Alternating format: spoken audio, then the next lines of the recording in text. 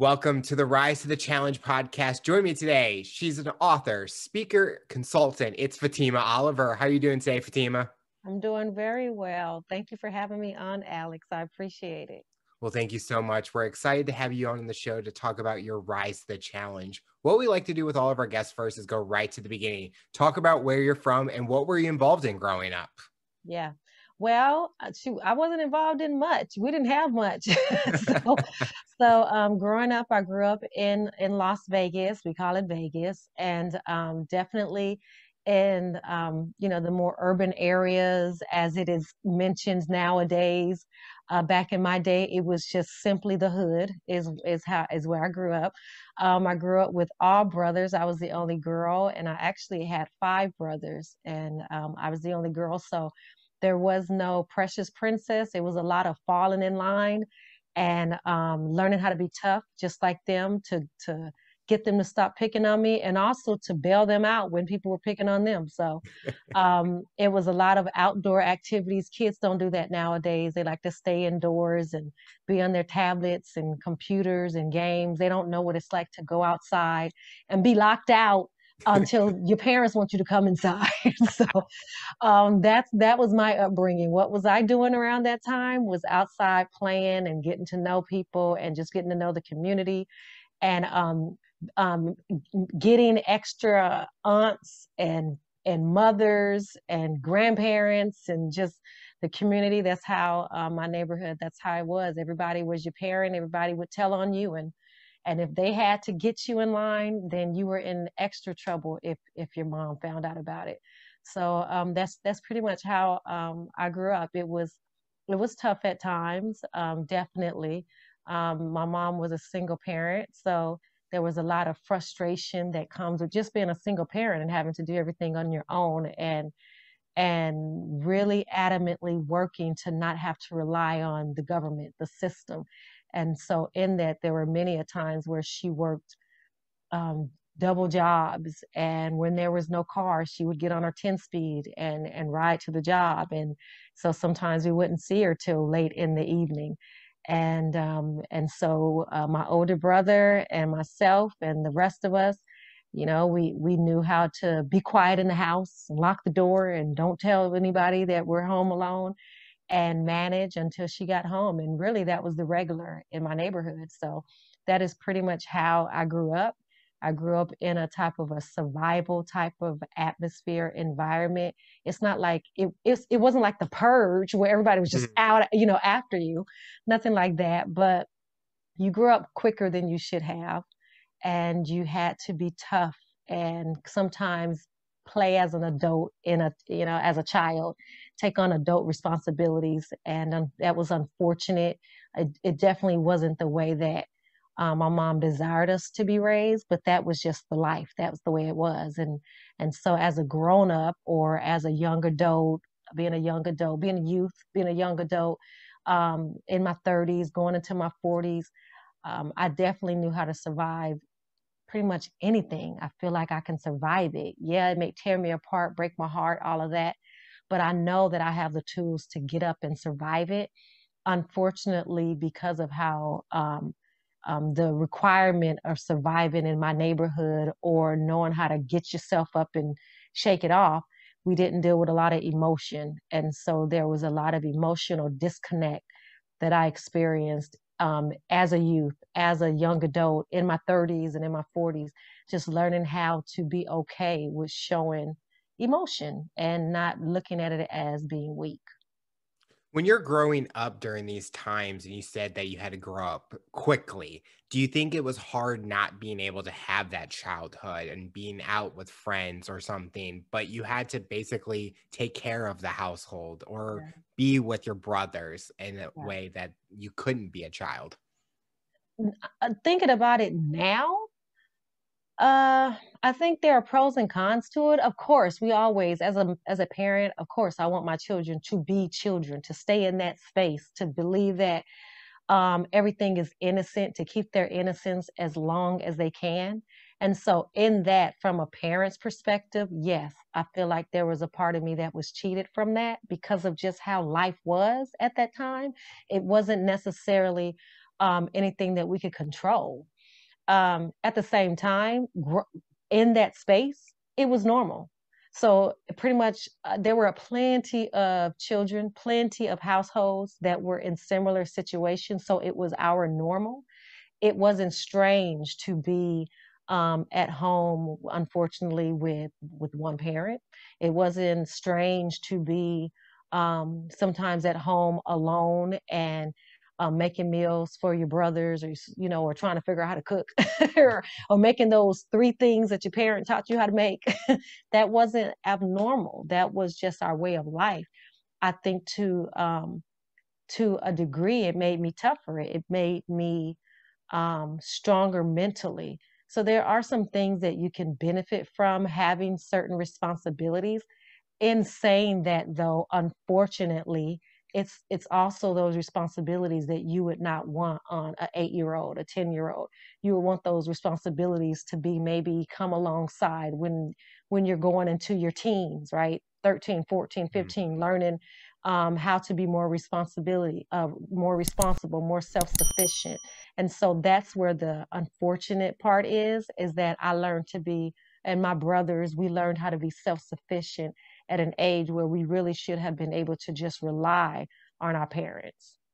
Did the bond between you and your brothers grow over time where you guys were having to do a lot more in the household? Shoot, I don't think so.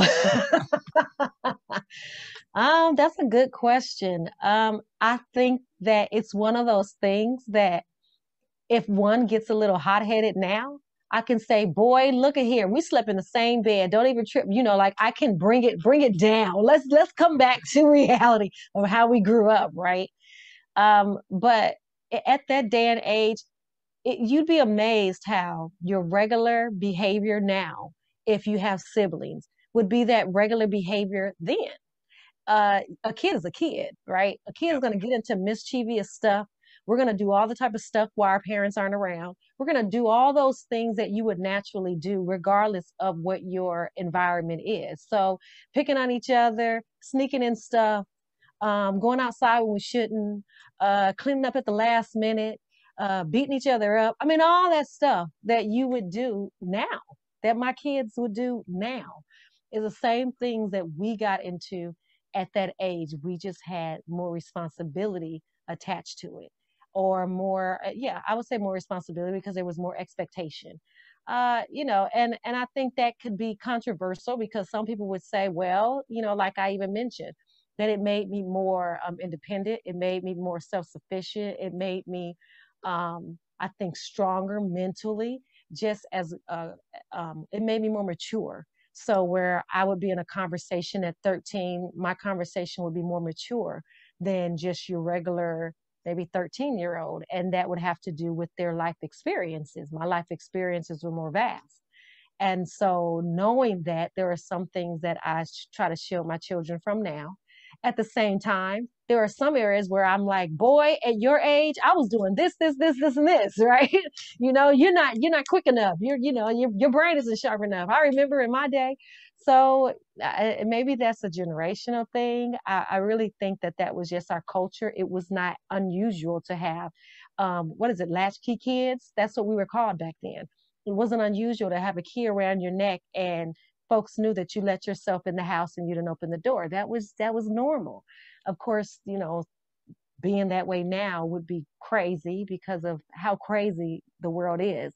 Mm-hmm. But back then, it you know the crazies weren't locked up. All the crazies were locked up, and we were still doing it. You know, it's just it was a part of the community. It was a part of the culture. It was just the way that you grew up a big conversation topic that comes up is the value of the dollar, or the value of the things that you have as a child growing up in the communities that you live in.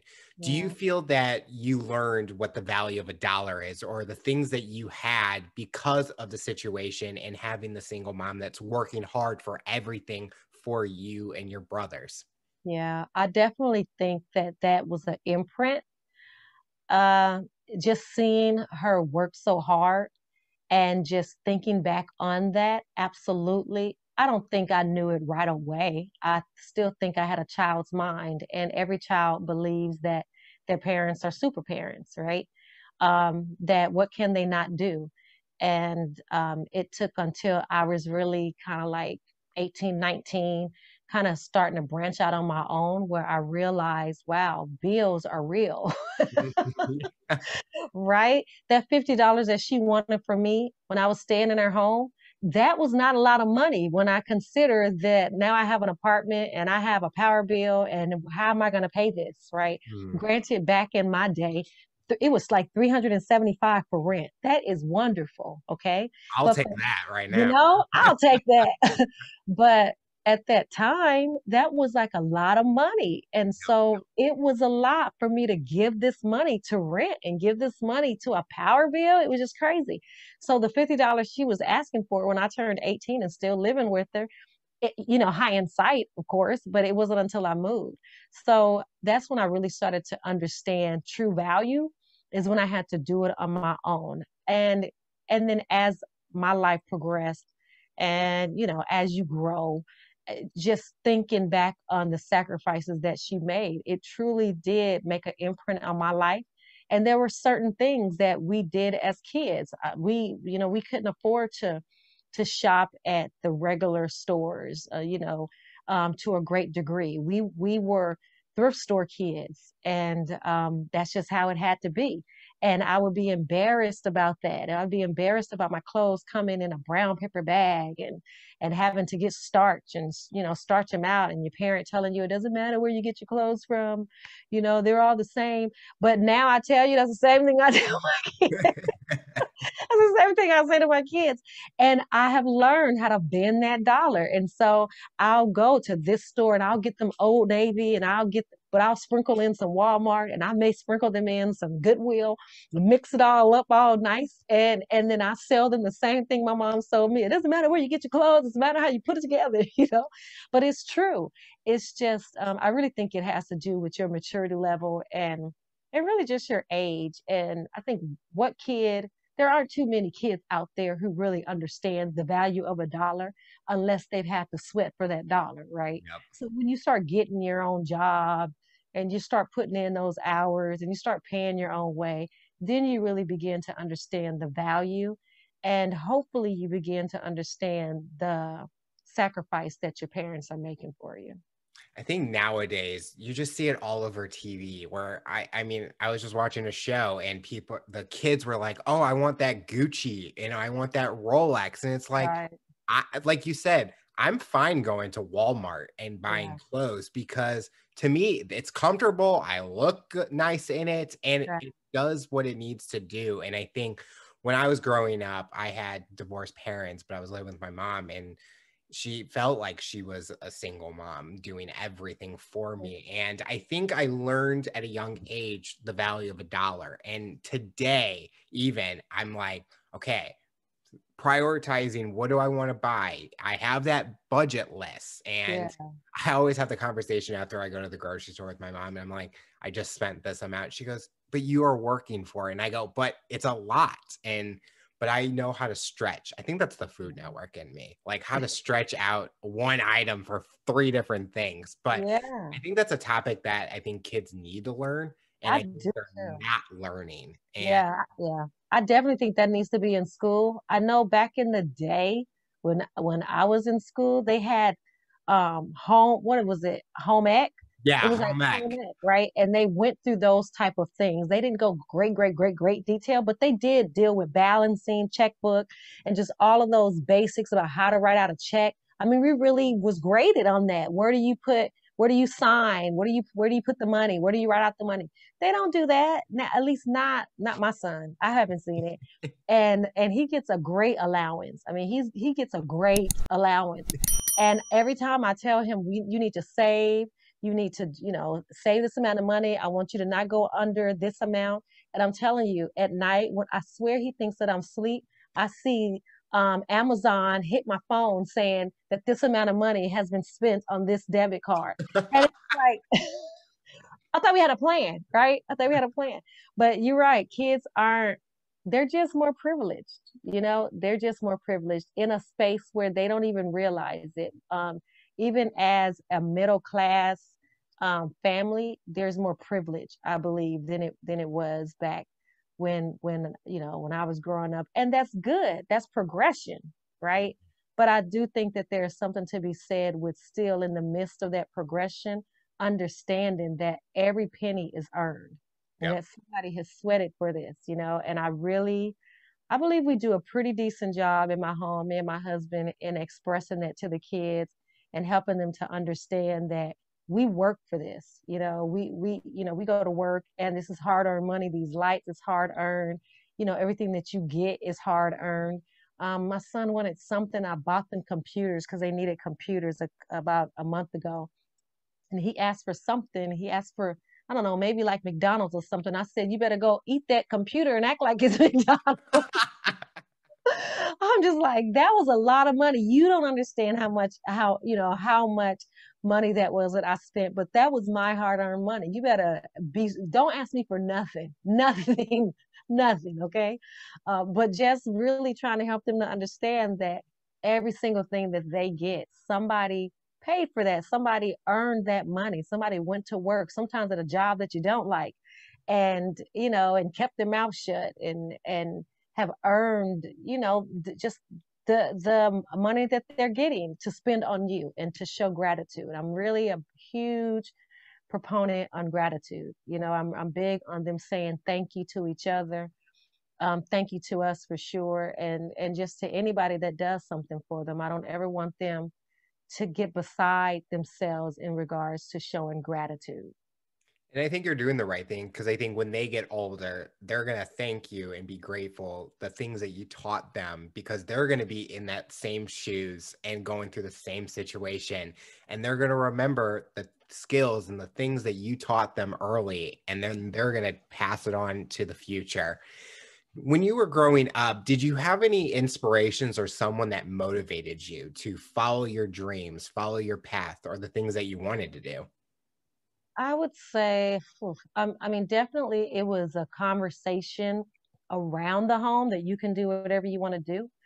I think that um, with the fact that we were working so hard to just survive our environment and um, survive, um, have enough food in the house. I mean, mm-hmm. really, to, um, there are times where my mom went hungry so that we could eat.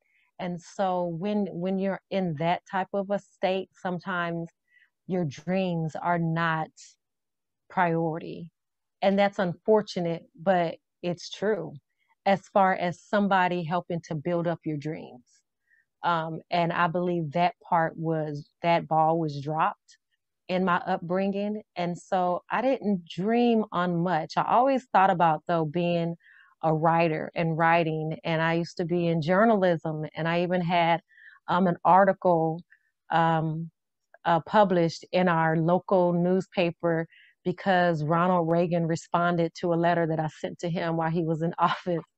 And um, and so there was this kind of unspoken understanding that I would one day go into journalism or I would be a lawyer, one or the other because I talk so much, or I like to write, one or the other and um, I wound up not doing neither. But um, and and I, and I went into high school, and in high school I was a part of the telecommunications. Went to a trade school and did a little bit of anchoring and learned how to work a camera and all those type of things. So it definitely stayed. I stayed in that niche of journalism and news and features and all of that.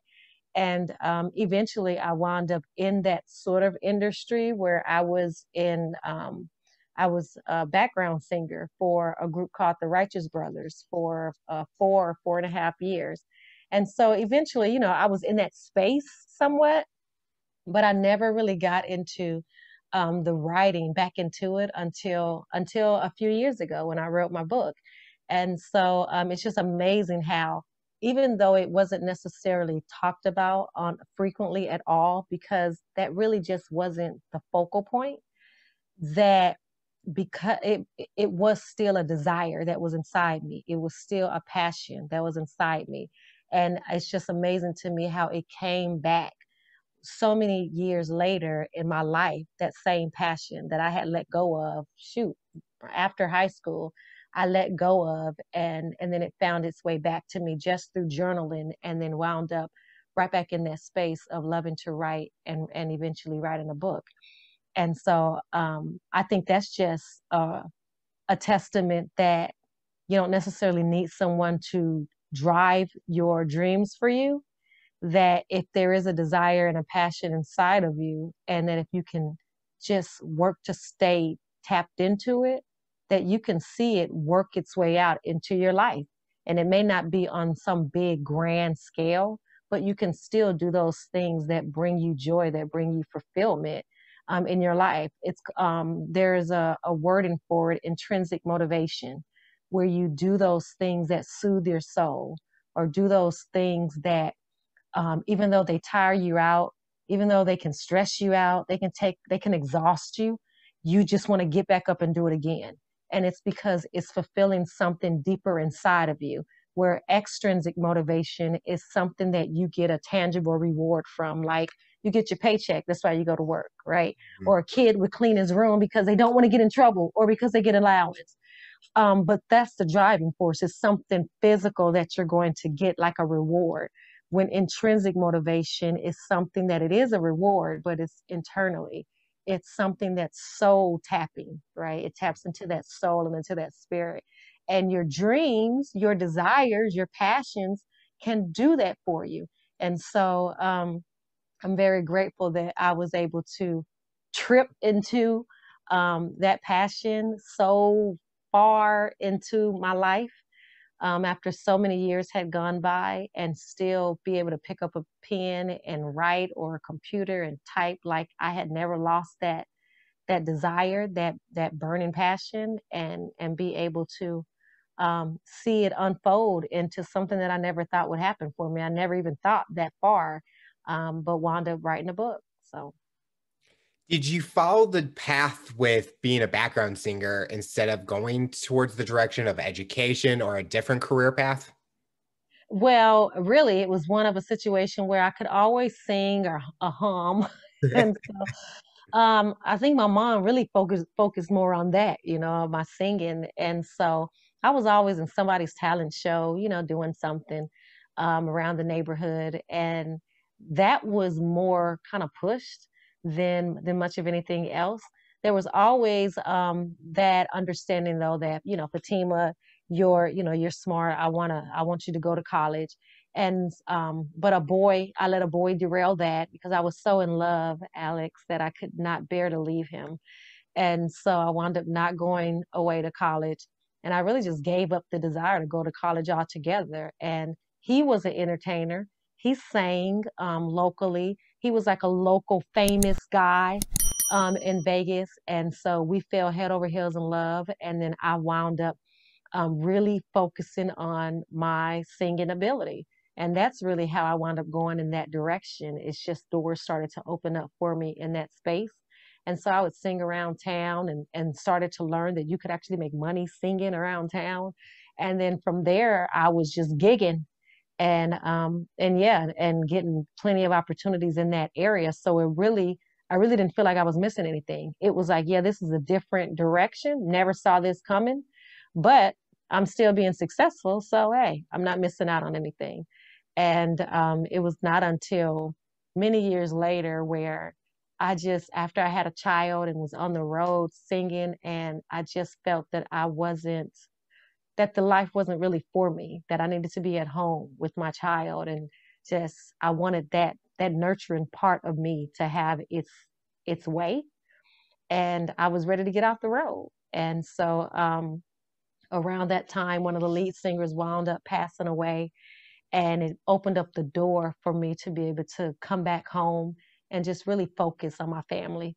And and from there, I picked up where I left off of as far as using my brain. I mean, not to say that you don't when you're singing, because there's a lot of um, st- strategy that goes into that.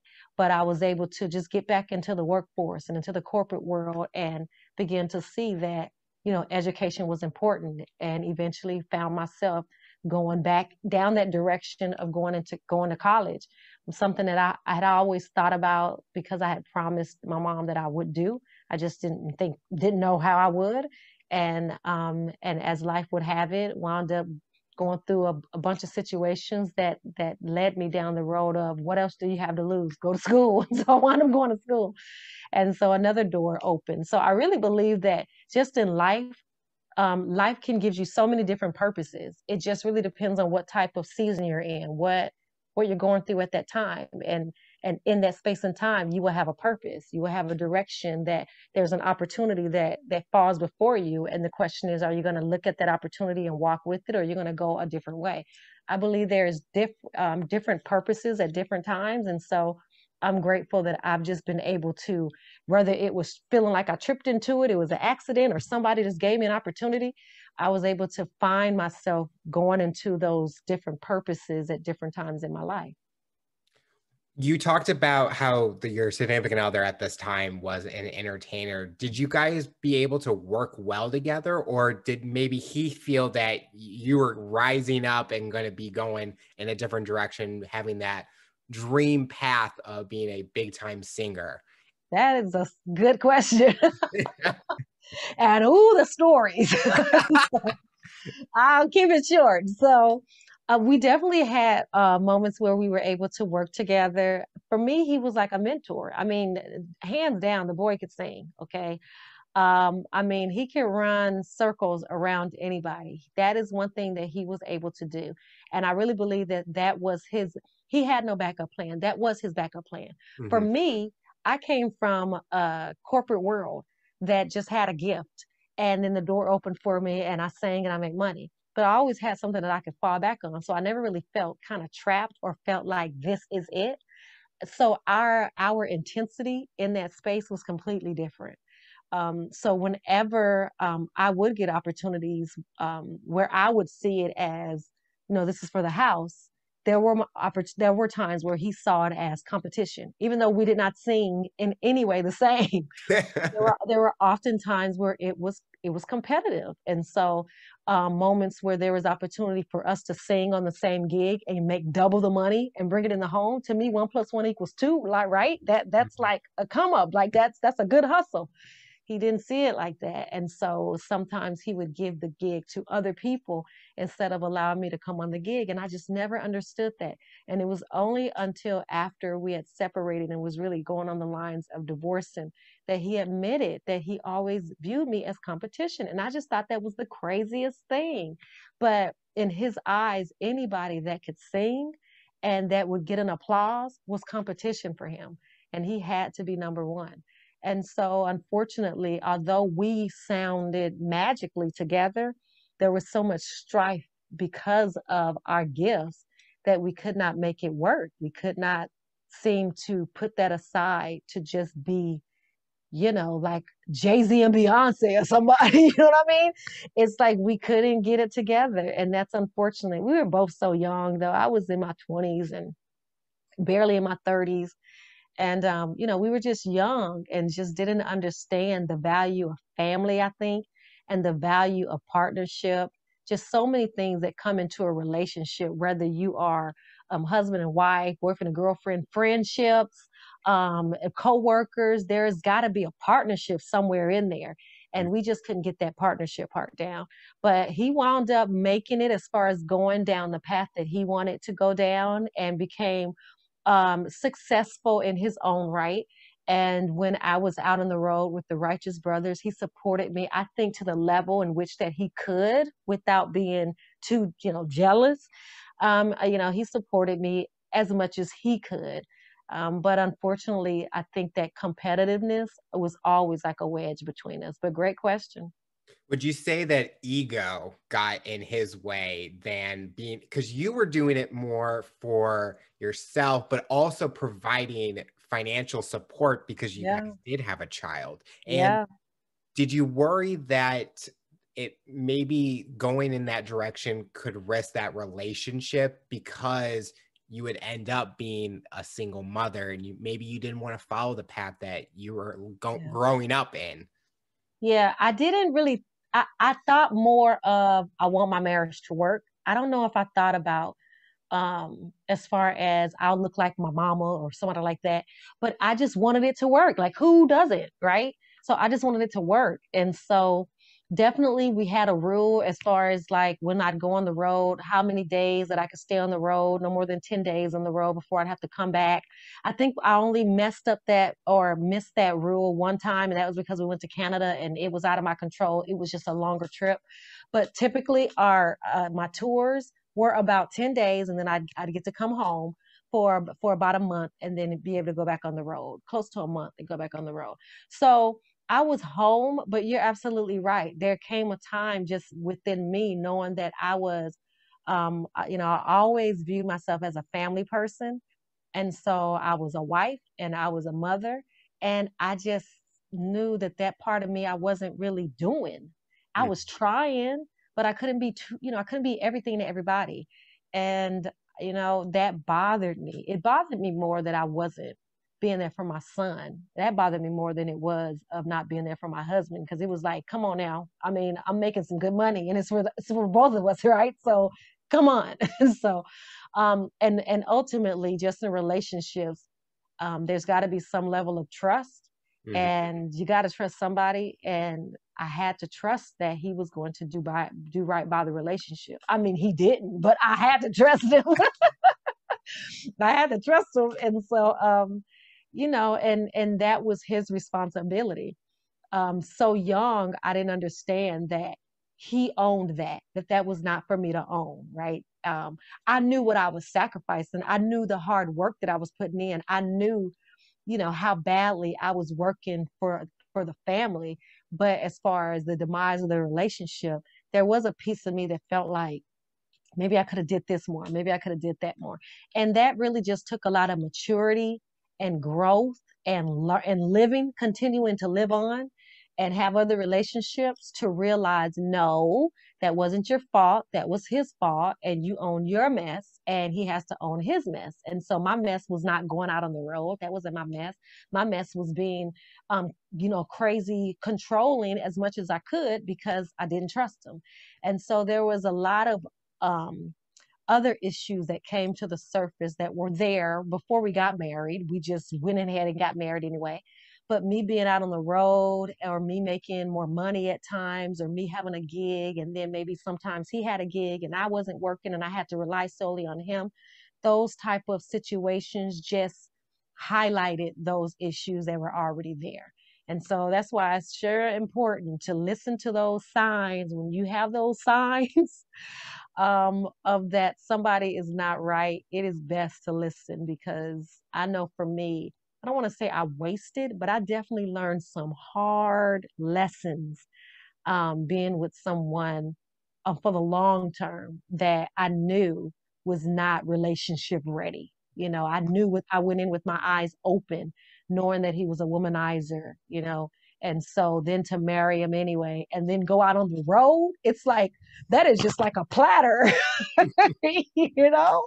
Cheat on me, please. And so, you know, I set it up for him. No, it was not me. It was I could not control what he did but still i i really made it easy so it's just you know it's just you gotta pick wisely and i definitely did not pick wisely i picked based on um he took he took time for me and he cared for me in my most um, critical moments of my life where it felt like my life was falling apart and I was in a very tumultuous situation. And he came into my life and he could sing and he helped mentor me and groom me and groom my grew, grew my talent and I felt that I owed him and to a degree. And so, um, you know, I felt that there was uh, unpaid debt that I owed him, and there was a part of that, and of course, just loving him, you know, from and from what I felt love was, and uh, being um, having a broken understanding of what love was, and I loved him from that space, and the fact that I felt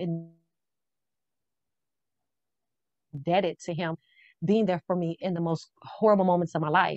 And so those two mixed together, it just, you know, that that is just ruin written all over it. And so it caused me a lot of years. We were together for 12 years, married for nine years, and it was a long time to um, get my head knocked on as far as girlfriend, change your mind to make a different decision.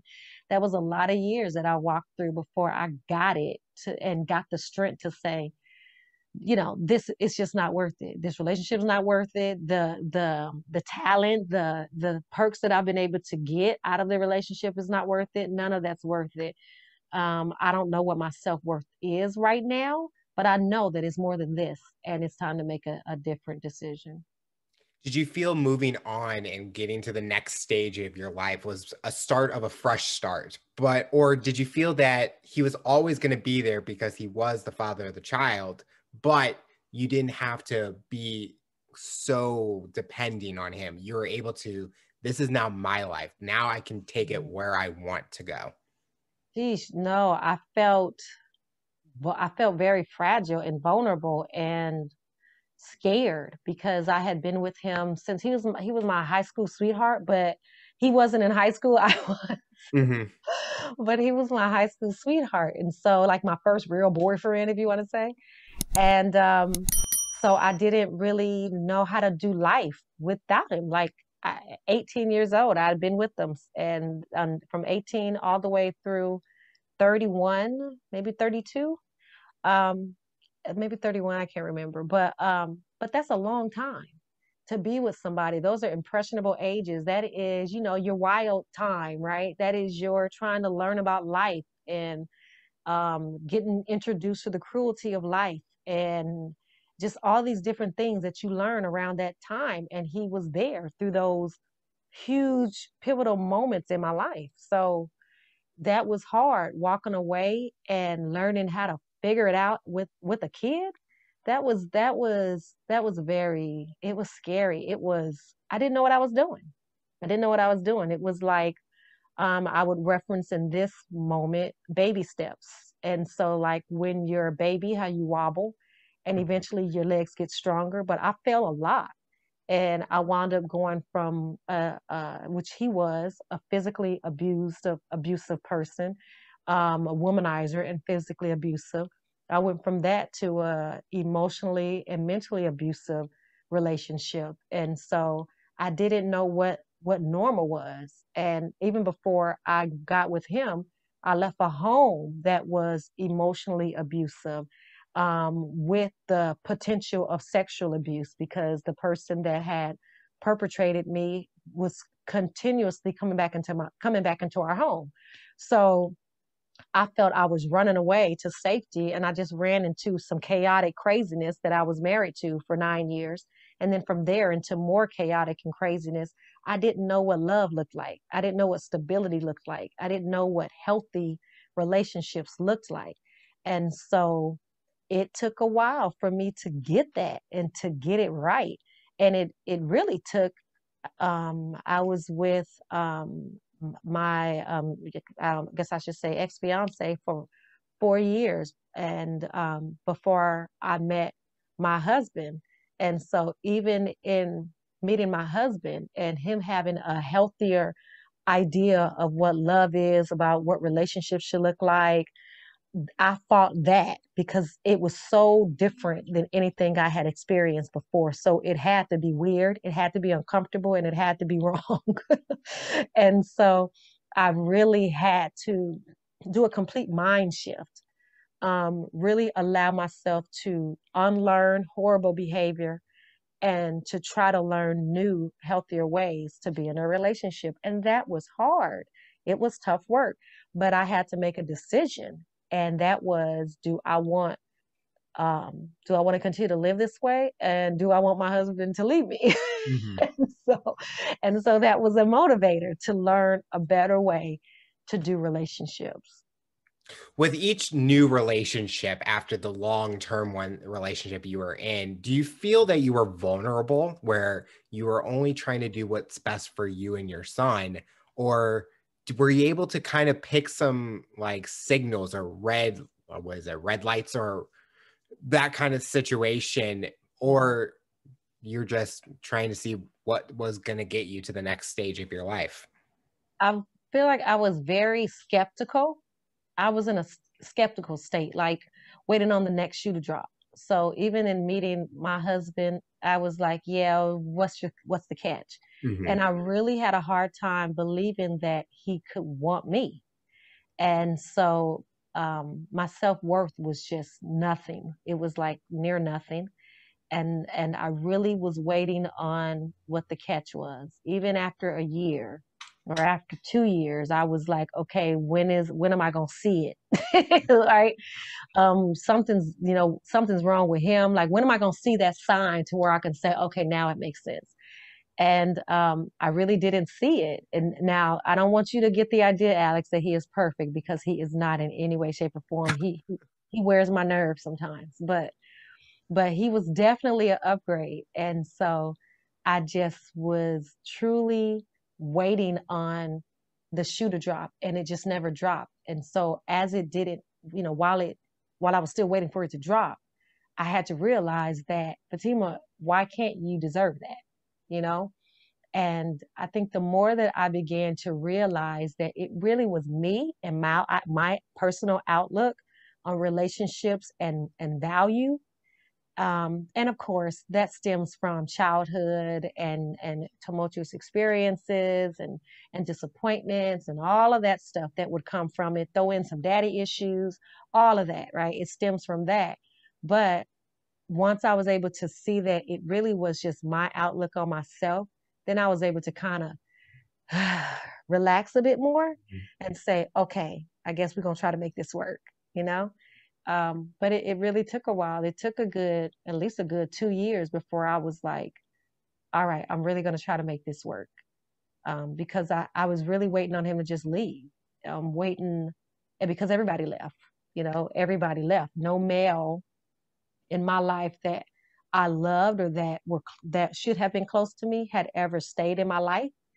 Uh, my father wasn't there. You know, my my ex husband he ran out on me and did all kind of crazy stuff. And and then my ex fiance he was pretty much the same way. And so I didn't have a good record uh, a, a record for men staying.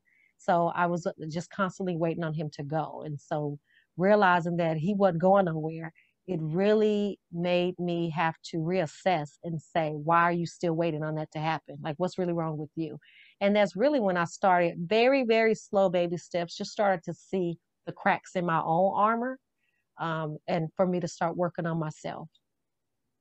During this time with your child, as he's getting older, was he able to kind of see what was going on or understand what is happening? Or did you kind of keep it very simple and kind of hide some things away from him.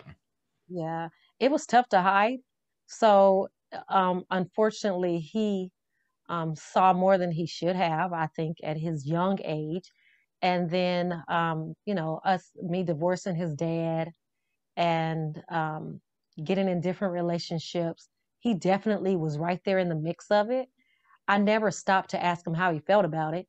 Um, and for the most part, it appeared anyway that he had good relationships, but he still wanted his dad. Mm. And over time, I learned that it was critical for his father to be in his life. Now, it took me some years to learn that because by the time I left his dad, he was about five, four, five years old.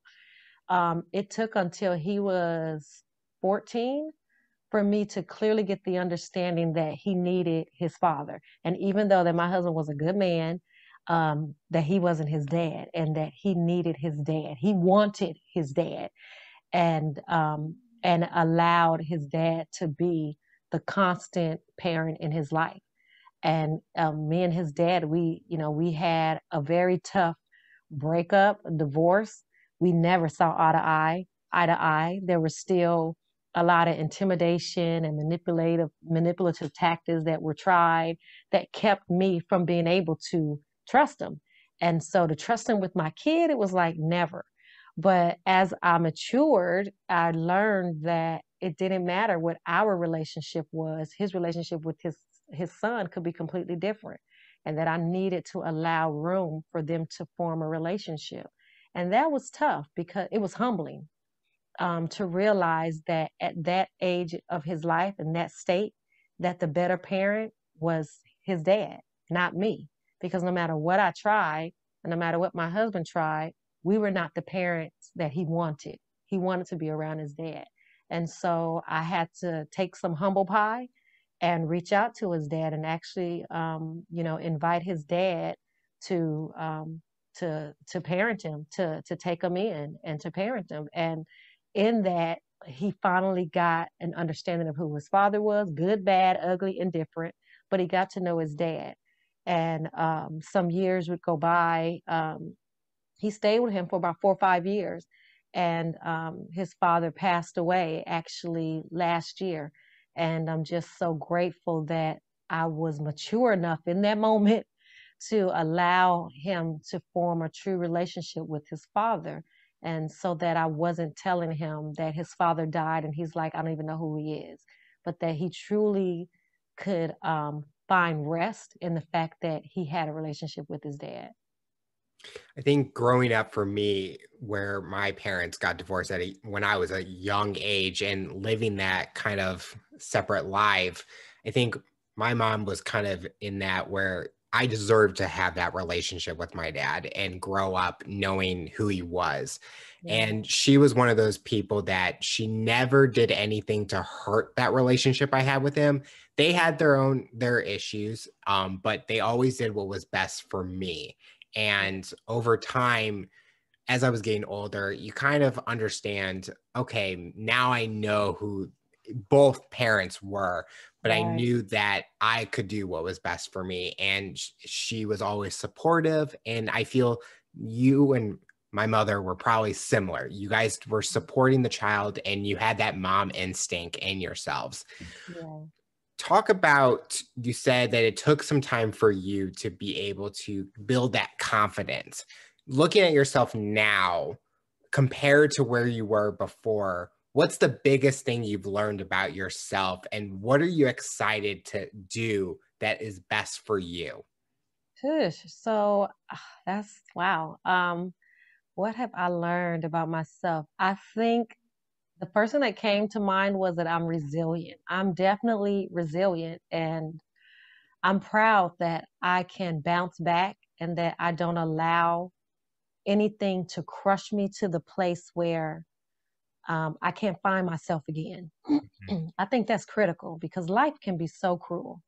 Life can be so cruel oh, yeah. and unfair, and people can be, those closest to you can be sometimes. And being able to handle disappointment or to mishandle disappointment and uh and really just fall on your knees and on your face and just feel like you can't go another day and then somehow find the way to go another day I'm so grateful that somewhere deep inside of me that I have that grit and that it comes out when I need it to come out. And that I'm able to share that with my children, especially having boys, um, so that they understand the importance of getting back up, you know, and don't allow life to beat you down to the point where you do not get back up.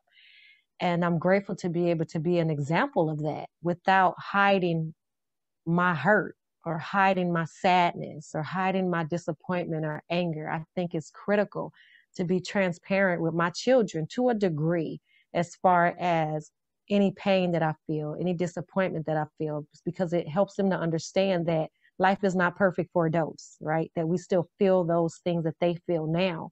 It's just we have to figure out a better way to handle it. And so I'm grateful for that. And I'm, I'm proud of myself for that. And I'm definitely excited about how I've been able to take the pains in my life, the tragedies in my life, the things that if I would share it all, that folks are like, I can't believe that you went through that. And that I'm able to continue to acknowledge that I went through some craziness in my life, but the pain that's associated with that no longer leads my life no longer is in control over my life and that i'm able to um, take that and turn it for good and find purpose. And now that i'm able to help other people and i'm helping people to walk through their own pain their own hurt um, being able to come alongside them and work through and process the different events that have happened in their life and the emotional connections and giving them the the tools the empowerment to face those emotions head on and work through them in a healthy way and have healthy conversations or healthy, um, tough conversations in a healthy way and release the pain that that has plagued them for so many years. I'm grateful that I'm in a space where for me it's God or my faith that has led me to this place in my life where all those crazy things that have ha- happened in my past that that let that really controlled my life up until a few years ago um, that God gave me the strength and the grit and the the wisdom, the intellect to be able to take that and use it for a greater purpose to heal myself, but also now to be able to help other people to heal in those same areas. And so I'm grateful for that. That is huge coming from the type of life that I had. You know, I, I grew up in a place just talking it over with you in a space where dreaming wasn't even an, really an option. It was about getting up uh, and doing it all over again um, and nothing more than that. And I've lived so many different lives. I have toured. I have, you know, I have sang all over the place, and I have written a book. And now I'm in a place where, and I've healed. I have healed in areas where so many people haven't haven't dared to look inside themselves, and I've healed from those things. And now I'm in a space where I am teaching other people how to heal. That is huge for me and it just shows you how good um, I would say for me God or or your your um, you know the, your your God can be when you give him all the pieces of your life um, how how he can take it and make it beautiful if you just allow him to with American Idol coming back, I mean they're they're doing stuff. Are we going to see you on American Idol one day? I'm too old. hey, hey. Age is just a number. Hey. I can't even stay up long enough. Do you hear me? I'm I'm like I'm talking I'm talking good trash around I don't know, 10 in the morning. By the time it hits seven or eight, I'm like, what did I commit to? You'll be that no, person that's no. like, um, can we move the audition earlier, please? Right? Little too around lunchtime. Yeah, no, that ship has sailed. Now I'm all about praise and worship at my church, and I'm excited about that to be able to use my gift in that area. And that is good enough for me. It really is. Um, I think right now my purpose is just helping other people to heal. And so I'm doing a lot of virtual events and um, where I come alongside people and we do an event called Crushing the Elephants and we discuss those big things, those elephants in the room that we tiptoe around in our lives that keep us um, captive, keep us trapped in our own life, whether it's a situation that happened that we don't want to talk about, or whether it's um, an event that's coming up that we dare not, we don't want to do, you know, or um, it's um, a person, it can even be ourselves. And so now, you know, my focus is really helping people to deal with those elephants that they tiptoe around in their own life to find some type of peace and find um, to reshape the their atmosphere, you know, in the way that they would like it to operate. It's their life, right? If someone had your book in their hand, what is the biggest thing you are hoping that they get out of reading your book? Yeah, so my my book, The Prescription is in the Dirt. It is about healing. It's about dealing with that stuff that you have suppressed, whether it's a bad breakup, whether it was a bad parent or something you've done to somebody. That's what the dirt is. And that's what the book um, it really tackles. And so if someone was to um, pick up the book and want to read it, that is my goal for them, that they will see themselves in the different events that I went through, the different events that I share in my book about uh, my life and my dirt and how I stumbled through and and like a kid wobbled and found my legs and found maturity and peace in these different situations. And I would pray that as they read my life stories that they would also um, find the strength to look and to deal and to face head on their own dirt whatever that is and walk it a baby step approach and find their strength to walk through the process of healing, um, just like I did, and come out on the other side just truly blessed from the experience. Basically, with everything you've shared, it shows that anyone can rise to the challenge. We all have that determination and we have to be able to believe in ourselves that we're able to do it. I think people that are struggling and they can reach out to you and be able to show that you've gone through stuff and you are there to help other people go through similar situations or things that maybe you don't have experience but the tools that you've used they can utilize that in their daily lives Absolutely, absolutely. It's been a journey, and I'm so grateful that the journey is at this place where it's like I can see all of that and um and like you said, the basic tools. You know, you'd be amazed at how basic tools can be used in so many different facets of your life and being able to share those tools with people for them to be able to rise to the challenges in their own life and face it head on, not run away from it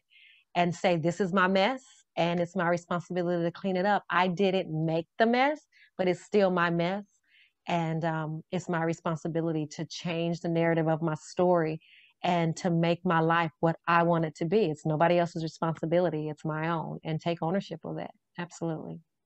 looking towards the future what are you hoping to accomplish personally and professionally in the next couple years we all know that we're going through a situation together but what are you hoping to accomplish Yeah. I definitely um, want to put out another book. I have some ideas, and I really have been journaling about it, um, in in which direction it's going to go. And so that is definitely something in the near future. And just really to be able to, and that for me, that's personal and professionally, but also to expand my influence and um, really be able to. Um, make a positive name for myself in regards to helping people to heal because that that really is at the heart of um, the reason why we're talking today is being able to um, let people know that they are not alone and that I once felt that way. I once felt like I wanted to end my life.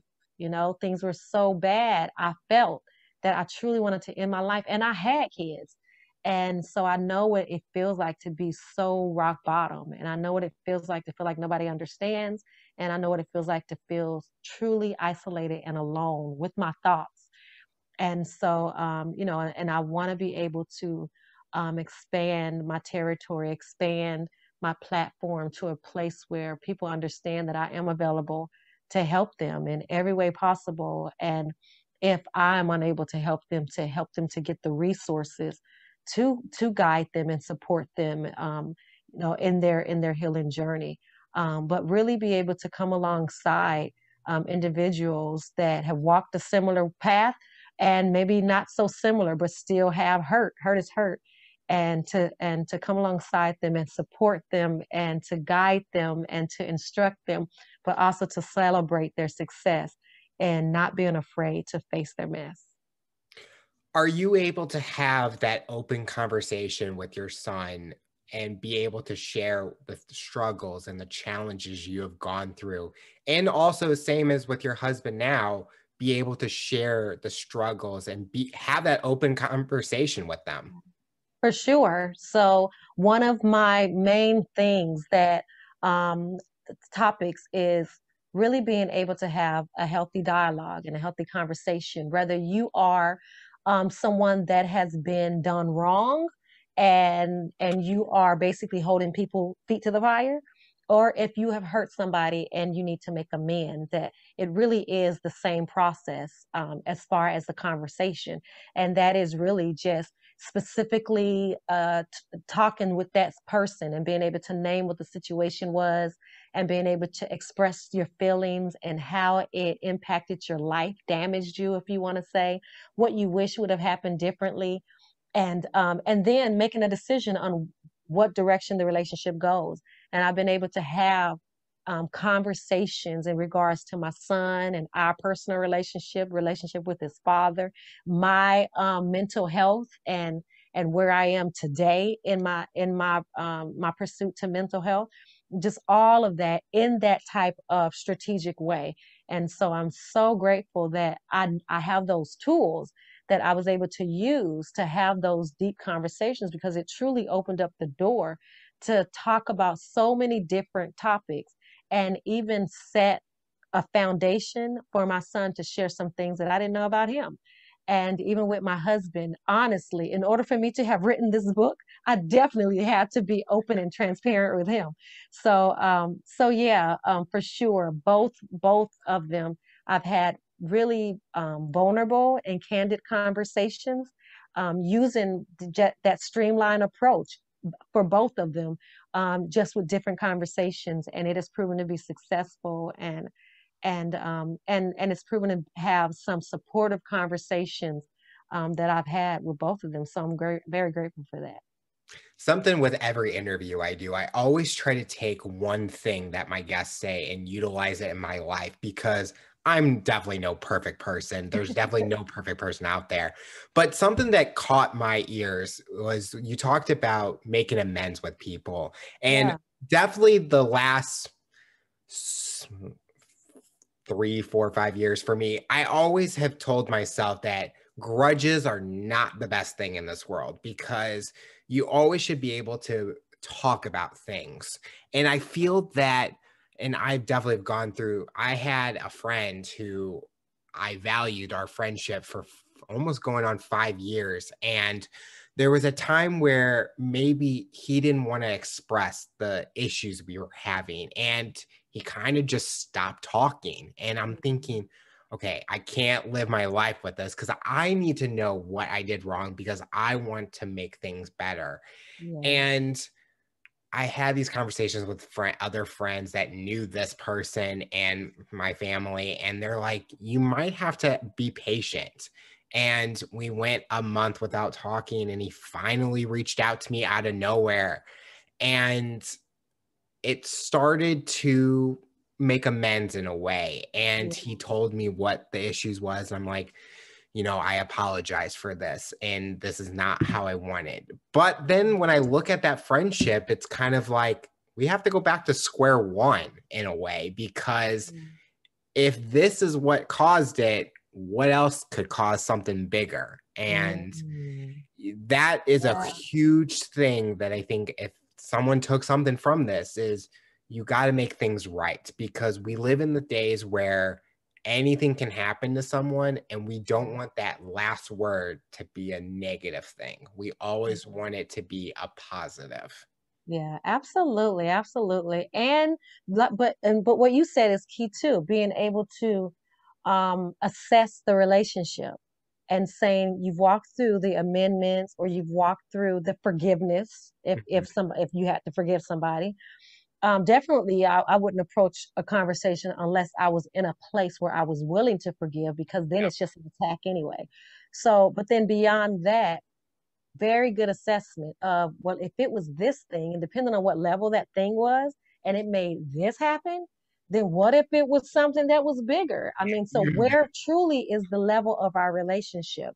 And so actually um, in a in, in my um, virtual event that I do, um, the crushing the elephants, I talk about friendship levels and that depending on that friendship level will determine what how far you go as far as what that amendment looks like. Some people are definitely, definitely worth being uncomfortable for and making amends with somebody, asking for forgiveness, open up, opening your heart to forgive somebody that has wronged you can feel uncomfortable, can feel like you don't want to do it, but you weigh the relationship. Mm-hmm. How much has that person been there for you? You know, what what time has been invested and you weigh that on do they deserve um, me feeling uncomfortable in this space to say, please forgive me, or me feeling uncomfortable in saying, you know what, I'm going to give this another chance.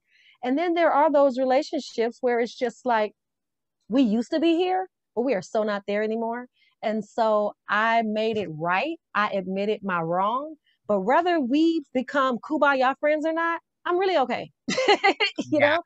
And and so that's just the reality of life. Relationships change. There are just different seasons in life. Sometimes folks can be your best friend when you're going through a trauma but maybe consider that they were brought into your life for a season to help you through that trauma.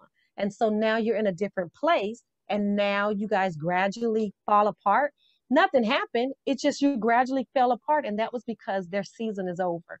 I truly believe in that. I truly believe in seasons with friendships and relationships. And sometimes people are brought into your life for just that season. You know, you need somebody. Maybe you need to laugh. Maybe you need to learn how to laugh. So somebody comes in who's just a jokester, but they teach you how to lighten up. Mm-hmm. And then you go your separate ways, but they were they were cool people every time you think about them.